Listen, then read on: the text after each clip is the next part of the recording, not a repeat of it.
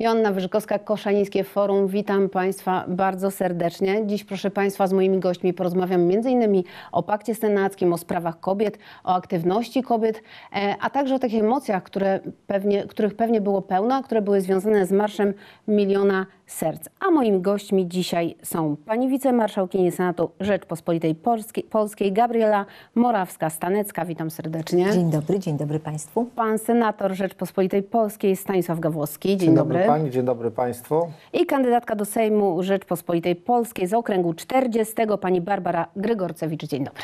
Dzień dobry Państwu. Chciałabym zacząć od e, tego e, paktu senackiego, e, bo nie ukrywam, że większość naszej rozmowy postanowiłam, że poświęcimy kobietom. Jest mi bardzo miło, że jesteśmy trzy na jednego, ale mam nadzieję, że pan senator nie czuje się w jakiś sposób zdeprymowany tym faktem. E, O 100 miejsc w Senacie rozegra się walka 15 października. Opozycja zdecydowała się na współpracę, y, zawiązała pakt senacki. E, Opowiedzmy krótko, ale dość szczegółowo, na czym on ma polegać i czy spodziewają się Państwo, że on się sprawdzi tak, jak to było w 2019 roku? Panie senatorze. Pakt Senacki to jest porozumienie największych partii opozycyjnych dzisiaj, demokratycznych partii, które postanowiły, tak jak cztery lata temu, wystawić wspólnych kandydatów w wyborach do e, Senatu, wiedząc o tym, że wystawianie kandydatów wielu w okręgach, w pojedynczych okręgach, w których jest ordynacja większościowa, a więc wygrywa kandydat, który uzyskuje największą liczbę e, głosów jest e, przeciwskuteczne, czyli powoduje, że na końcu wygranym jest tylko i wyłącznie PiS, a więc e, Koalicja Obywatelska, Platforma Obywatelska, Nowa Lewica, Polskie Stronnictwo Ludowe, e, Polska e, 2050 Szymona Hołowni oraz duży ruch samorządowy Tak dla Polski postanowili zawiązać jeden wspólny blok, e, który się nazywa Pakt Senacki i wystawić 100 kandydatów w, e, w 100 okręgach wyborczych do e, Senatu po to, żeby wygrać e, wybory do Senatu. Senat w tej kadencji udowodnił, jak staje, stał się e, ważną izbą. Tak naprawdę był jedyną instytucją demokratyczną, w której e, odbywały się prawdziwe e, debaty, gdzie Polacy mogli w różny sposób artykułować swoje oczekiwania i patrzenia na rzeczy. I wreszcie, to też warto chyba powiedzieć, ta przewaga w Senacie w tej kadencji wynosiła 51 do 49. Ta większość w Senacie była minimalna, ale, Ale jeśli- była. ale była i została zbudowana dzięki paktowi senackiemu zawartemu 4 lata wcześniej. E, ja mam, z- czasami powtarzam z dużą satysfakcją i za to mieszkańcom e, Koszalina i regionu bardzo serdecznie dziękuję, bo e, ja jestem kandydatem z okręgu 100. Okręg koszaliński to jest ostatni okręg do Senatu. E, wygrałem wybory dzięki wsparciu mieszkańców Koszalina zaledwie 321 głosami, ale to oznacza, że te 321 e, głosów zdecydowało o tym, że Senat był demokratyczny, że te debaty mogły się odbywać, że mamy innego rzecznika praw obywatelskich niż e, tego z nadania partyjnego e, PiSu, że e, rzeczywiście przerwaliśmy taki taśmociąg legislacyjny.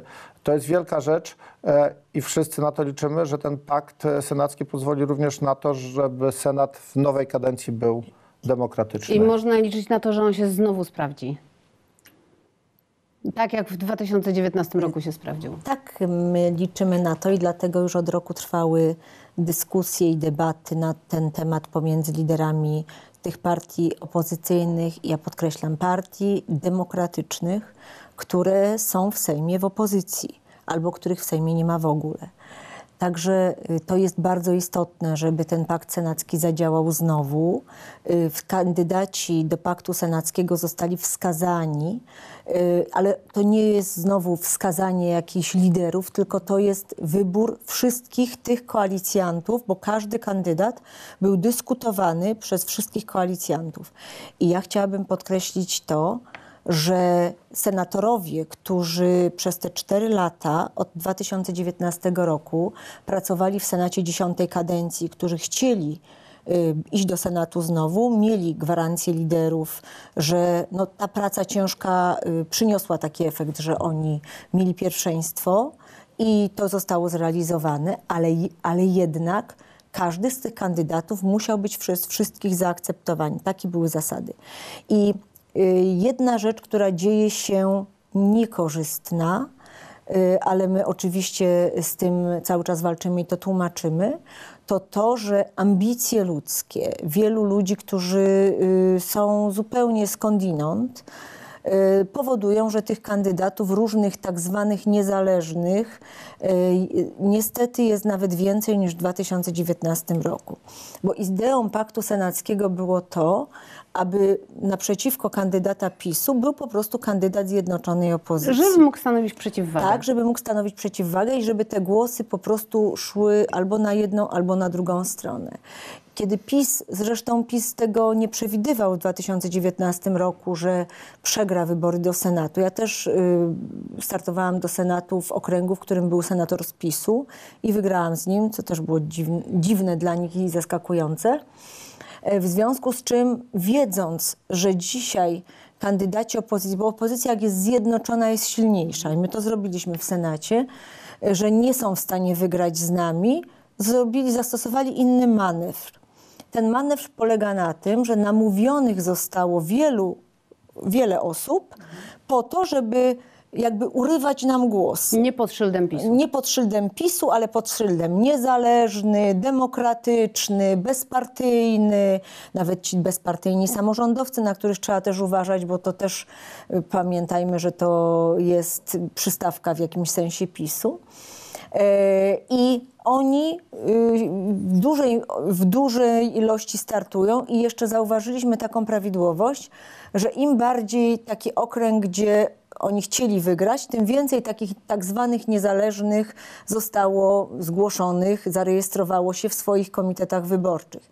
I ja mówię tutaj prosto, jasno. To są wszystko pomocnicy PiSu. Każda osoba, która łamie pakt senacki, nie, nie jest opozycją.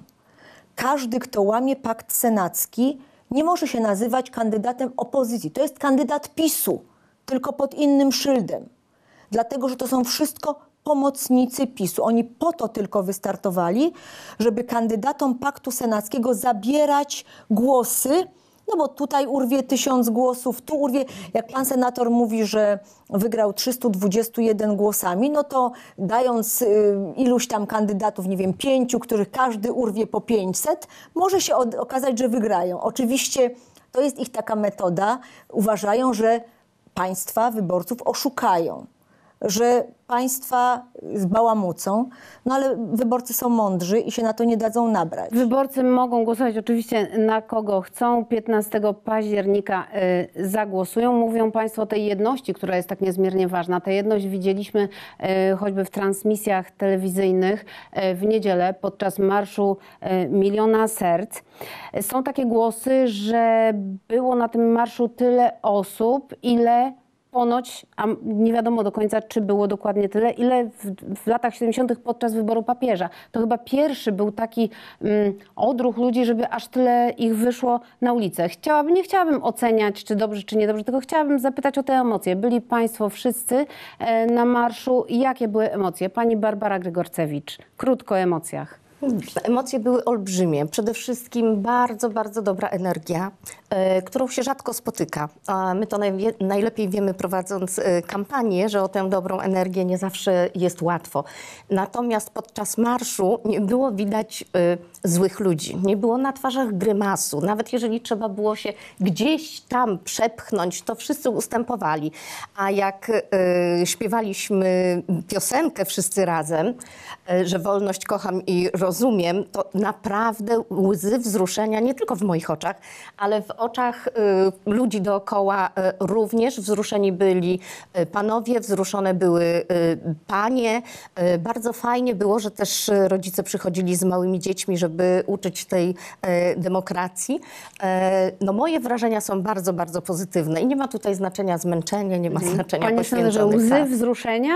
Prawdziwe wz- wzruszenie, ale tak naprawdę pierwsze już refleksje po marszu to naprawdę olbrzym się obudził, bo ponad milion osób, które wzięło udział w tym marszu, milion osób, które zarywając często dwie doby przyjechało do Warszawy, brało udział w wielogodzinnym marszu e, i wracało potem całą noc e, do domu, choćby e, setki mieszkańców Koszalina, którym, którym bardzo serdecznie dziękuję za ten udział w, w marszu, bo naprawdę sporo osób z Koszalina pojechało, ale tak dobra i pozytywna energia, zero agresji, całe rodziny, wielopokoleniowe, naprawdę i mega dobry, pozytywny przekaz na przyszłość.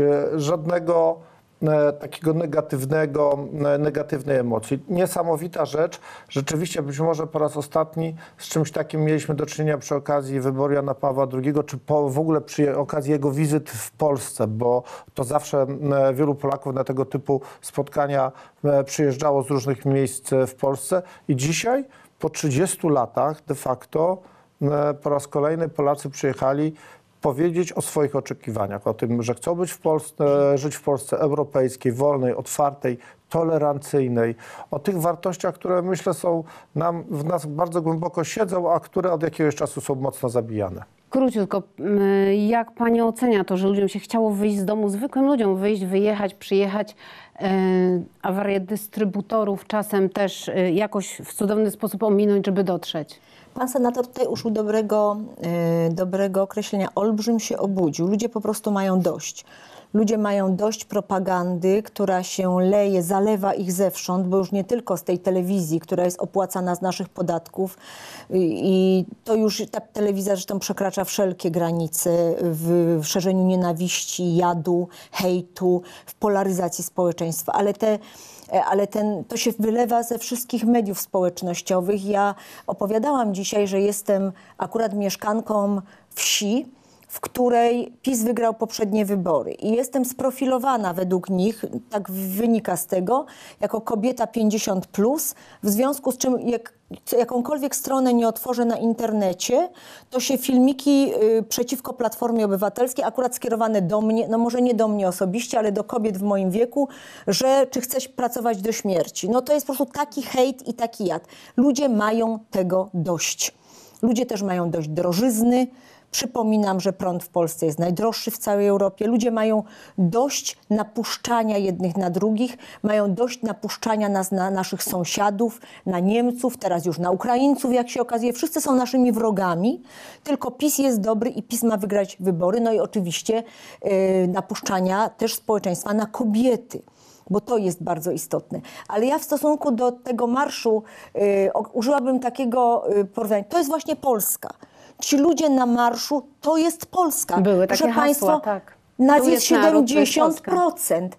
I nie dajmy sobie wmówić, że my jesteśmy mniejszością. My jesteśmy większością. Tylko my daliśmy sobie przez różne wybory, bo to są y, de decyzje indywidualne oczywiście każdego Polaka, jak zagłosował w 2015 czy 2019, ale sami spowodowaliśmy jako społeczeństwo, że mniejszość rządzi nami, nie respektując naszych praw jako większości. A to była Polska. Ten marsz to jest Polska. No właśnie, wywołała Pani kobiety, y, akcja Koalicji Obywatelskiej Kobiety na wybory. Przyznam, że jak słyszę takie generalizowanie, to trochę coś się we mnie tak, e, nie wiem, mm, może nie aż burzy, ale takie czuję takim, nie wiem, jakieś takie ma, maleńką niezgodę. Czy tych kobiet takim hasłem kobiety na wybory nie wkłada się do tej znowu na tą półkę z napisem kobieta?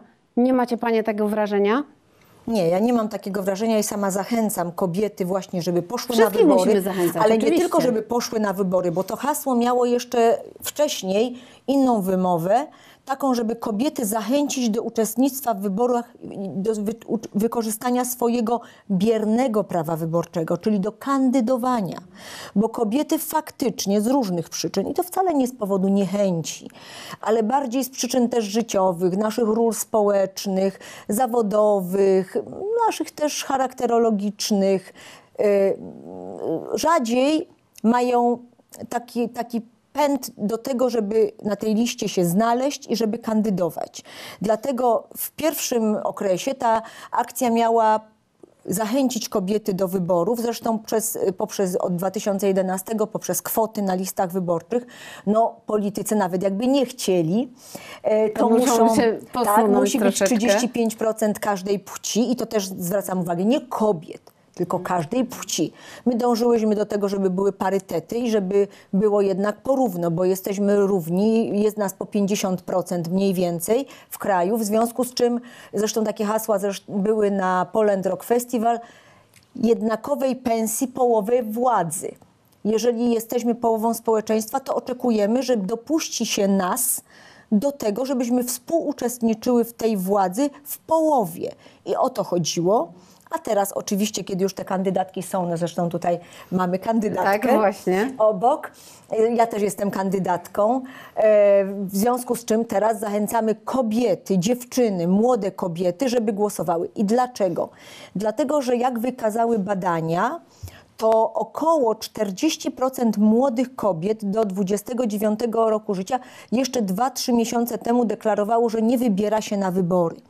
W związku z czym my robimy tą akty, akcje profrekwencyjne, żeby kobiety zachęcić, żeby im uświadomić, że tak naprawdę to dla nich, dla nich, dla ich dzieci przyszłych, jeżeli te dzieci będą miały, ale też po to, żeby mogły decydować, kiedy, z kim, jak chcą żyć, kiedy chcą mieć dzieci, czy chcą mieć dzieci, jak je wychować, do jakiej szkoły mają. Właśnie dlatego kobiety powinny wreszcie współuczestniczyć we I że każdy pojedynczy głos ma znaczenie. No i dlaczego jeszcze mówimy kobiety ostatnie zdanie? Dlatego, że my nie możemy uciec od tego, że wyrośliśmy w świecie patriarchatu. No, mamy te prawa wyborcze od 100 lat, więc tego nie ukryjemy. Przez całą historię kobiety się nie liczyły we władzy. W związku z czym dlatego trzeba szczególnie dbać o to, żeby kobiety, jak już otrzymały te prawa równe, żeby potrafiły z nich korzystać. Mężczyźni się tego uczyli przez 2000 lat, my tylko 100 i tak jesteśmy świetne. No właśnie, pani Barbara Grygorcewicz, kandydatka e, do Sejmu, ale i radna miejska i e, autorka wielu społecznych programów. E, Sprawy kobiet to jeden z punktów pani programu. Tak, jeden z y, punktów mojego programu, ale nie jedyny oczywiście. Mam ich y, więcej, bo i y, każdy ma prawo do decydowania o własnym ciele, każdy ma prawo do uczciwych podatków, do rzetelnej edukacji, e, do godnej starości i do mm, równego dostępu do usług publicznych. Ale też y, sprawy kobiet są mi bardzo, bardzo bliskie. Ja bym chciała, żeby kobiety czy też dziewczyny nie dały sobie wmówić, e, że starsi panowie wiedzą lepiej, jakie kobiety mają potrzeby. No, to jest abstrakcja. E, tak się nie dzieje. Nie wiedzą. E, w związku z tym powinno nas być więcej. I ja też zawsze zachęcam kobiety, dziewczyny, żeby kandydowały, żeby zgłaszały swoje kandydatury. Natomiast e, to, co pani marszałkini już y, powiedziała, nas jest więcej, nas nie jest połowa, nas jest 52%. No tak, kobiet A jest zobaczmy, więcej. jaką mamy. Nie mówiłam o tych 50. Oj, możemy się pochwalić. A możemy się tym pochwalić, ale zobaczmy, jaka jest reprezentacja kobiet, y, czy w Sejmie, y, czy w Senacie. No w Senacie, proszę mnie 24. spor- tak, 24 No senatorki. i tak jest bardzo dobrze, bo w poprzedniej kadencji było 13. No właśnie, czyli I wygląda na to, że ta 131 aktywność- e, posłanek, prawda, na 460 posłów. Więc to, że my zachęcamy kobiety, żeby poszły na wybory, żeby e, nawet nie ulegały sugestiom swoich partnerów, na kogo mają głosować, e, to jest jak najbardziej celowe. I mówi się, że to właśnie kobiety o wyniku tych wyborów Zadecydują. zadecydują. Ja powiem jeszcze coś więcej. W województwie śląskim, w którym ja kandyduję do Senatu, wszystkie kandydatki Koalicji Obywatelskiej do Senatu to kobiety. Wszystkie. To kobiety. Także na to też trzeba zwrócić uwagę. To są rzeczy, które się jeszcze kilka lat temu nie zdarzały. A dzisiaj właśnie to koalicja ma najwięcej kobiet na swoich listach i to na tych miejscach biorących. Jedynki i miejsca biorące. Więc to też trzeba y, docenić. Ja to bardzo doceniam. Panie senatorze, aktywne kobiety, pełne pomysłów, pełne zapału, to coraz częstszy widok wokół pana? Ja się bardzo z tego powodu cieszę. Ja jestem parlamentarzystą od wielu kadencji i od wielu kadencji obserwuję aktywność pań. Klub e, najpierw Platformy, potem Koalicji Obywatelskiej to klub, w którym pań było zawsze najwięcej. A i tak zawsze mieliśmy takie przekonanie, że jest za słaby głos e, pań. I to nie dlatego, że w koalicji jakoś nie były e, ważne te sprawy, tylko bardzo często kobiety patrzą na, nie, na te same sprawy i mają zupełnie inny pomysł e, i inną opinię, więc ta dyskusja, która się toczy w klubie jest lepsza, gdy są różne środowiska i też różne płci reprezentowane. I ten pomysł kobiety na wybory z jednej strony rzeczywiście ma służyć temu, żeby panie chciały pójść na wybory e, i oddać swój głos, ale z drugiej strony w pierwszym kroku to był pomysł polegający na tym, żeby panie w ogóle chciały kandydować, bo to jest e, e, rzecz teoretycznie łatwa i dużo trudniejsza. Po pierwsze, panowie nie chcą się posunąć na listach. Od razu mm, uczciwie się do tego przyznaję, ale po drugie, po drugie, panie mają często inne, inaczej ułożone priorytety. Rodzina, dzieci, wychowanie, potem ta aktywność zawodowa i dopiero potem publiczna. No E, trochę siłą rzeczy tak o, jest. oczywiście siłą rzeczy tak jest. To jest ja, ja jakby nie zaprzeczam, tylko to jest też powód, dla którego panowie powinni się bardziej posunąć. Trzeba absolutnie powiedzieć, panie są e, e, częścią polskiego społeczeństwa, 52% zapamiętałem, e, a więc większością, a mają w polskim parlamencie mniejszą reprezentację. I Trzeba to zmienić. Stąd e, tego typu akcja, stąd to zaproszenie jeszcze do dodam- wyborów. ja jeszcze dodam- jeszcze ostatnie zdanie, Pani Muszak, bo, bo jest to z mojego punktu widzenia nadzwyczaj ważne. To są najważniejsze wybory od 89 roku. I wszyscy to powtarzają, wszyscy najważniejsi politycy. Ale one są najważniejsze e, w takich kategoriach również e, mm, wolnościowych. Prawa kobiet zostały przez ostatnie lata naruszone najbardziej. Tym bardziej powinny pójść na wybory. No tak, ale ten... Ale właśnie, bo to chciałam proszę. jeszcze dodać odnośnie kobiet, bo y, mieliśmy taką dyskusję na Kongresie Kobiet, który był ostatnio w Poznaniu i okazuje się, i to są badania przeprowadzone, y, że w wyborach samorządowych kobiety o wiele częściej kandydują niż w wyborach parlamentarnych. Dlaczego? No to jest też związane z tym, że jeżeli coś jest bliżej domu, czyli właśnie to jest to, co powiedział pan senator, to są dzieci, jest rodzina, kobiety są bardziej sfokusowane. To technicznie jest dla nich rodziny. do ogarnięcia. Mhm. A jeżeli to jest, y, są już wybory parlamentarne, gdzie wiadomo, że trzeba część swojego życia poświęcić i spędzić w Warszawie, no bo tam, jest, tam są obrady parlamentu, to już kobiety, jeżeli mają małe dzieci albo dzieci w szkole, ja sama raczej bym się nie decydowała, gdybym miała na przykład dzieci w wieku szkolnym. Chyba to, żadna z nas. Żadna z nas. No więc, y, więc to też jest kwestia, że kobiety jest trudniej zachęcić do tej aktywności publicznej. Ale faktycznie chciałabym jeszcze to, co pan senator powiedział na końcu, y, podbić. Prawa kobiet zostały zdeptane, zwłaszcza w tej ostatniej kadencji. Po prostu brutalnie podeptane i jeszcze pobite pałą teleskopową i przysprejowane gazem łzawiącym. Ja chciałam jeszcze y, y, dodać, że y, mi się nie podoba żyć y, w takim kraju i, i przy takim rządzie, y, gdzie młode dziewczyny boją się zachodzić w ciąży. No to jest y, naprawdę y, sytuacja, która nie zdarzyła się do tej pory nigdy. Jeżeli y, nadal y, będzie y, groziło więzienie y, za to, co Konfederacja próbuje przeforsować, za aborcję dla lekarza i dla kobiety, jeżeli kobiety będą umierały podczas porodów, bo je się zmusza klauzulą sumienia i, i nie udziela się im pomocy niezbędnej, to na, młode Polki nie będą się na dzieci decydować. I naprawdę, choćby nie wiem jak na głowie stawać i prorodzinne programy e, forsować, szczególnie te finansowe, bo one naprawdę nie działają do końca, e, to i tak, i tak, dopóki nie będziemy miały zapewnionych praw i dopóki nasze córki, wnuczki nie będą czuły się bezpiecznie, to o demografii, rozwoju demograficznym możemy zapomnieć.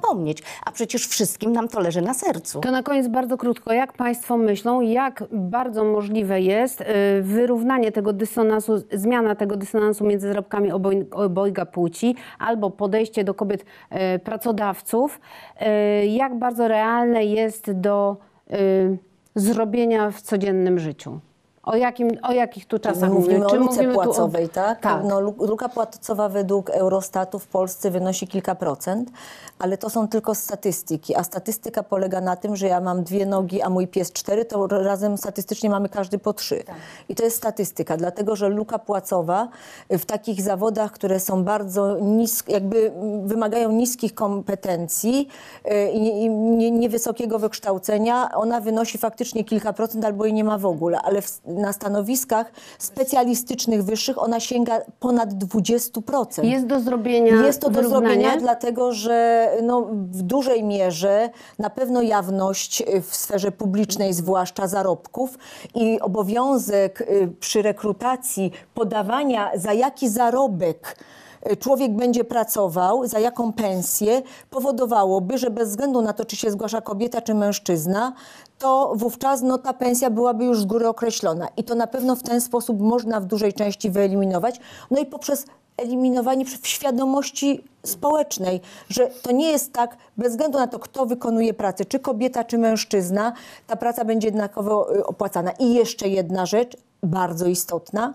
Dzisiaj bardzo często jest, że w dużych korporacjach przy rekrutacji, ale również przy awansowaniu y, w ogóle na wyższe stanowiska, to te programy komputerowe, tak zwane boty, ustalają na podstawie statystyk. I wtedy kobiety są jakby pomijane, ponieważ wtedy, kiedy mają małe dzieci, kiedy te dzieci chorują, te mniejsze zwolnienia, jeden, dwa dni, y, jakieś urlopy, y, czy jakieś opieka nad dzieckiem, to wszystko jakby jest wyrzucane i taki pracownik nie jest promowany dalej. I to trzeba wyeliminować. Trzeba wspierać przez to też kobiety w miejscu pracy, że jeżeli one mają małe dzieci, czy mają takie dzieci, którymi się trzeba opiekować, to to też powinno być uwzględniane. I wtedy ta luka płacowa będzie się niwelowała. A tam, gdzie mogą pracować zdalnie, rzeczywiście, żeby im tę zdalną pracę umożliwić, bo bardzo często, nawet jak są chore, a mogą pracować zdalnie, nie biorą żadnych zwolnień, tylko rzeczywiście pracują, zajmując y, się y, równolegle i y, opieką nad dzieckiem i pracą zawodową, więc y, są naprawdę bardzo, bardzo ambitne.